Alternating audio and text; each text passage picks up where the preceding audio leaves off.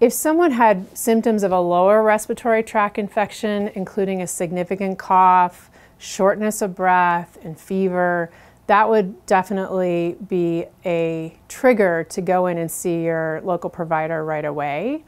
And then they will make the decision, you know, do you fall into that category of someone that should be tested or do we have other explanations for those symptoms? Because again, right now there are so many other pathogens in the community that can cause those same kind of symptoms than this particular virus. So There's really specific criteria that the CDC has released to us to work up what we consider a suspect.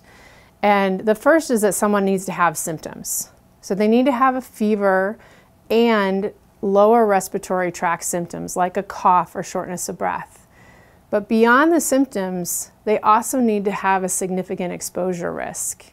So that exposure right now is travel and exposure to people where there's high community spread, like China, like South Korea, Japan, Iran, and Italy. The second important person to consider who should need testing would be someone that has symptoms and has a contact with a confirmed case of coronavirus.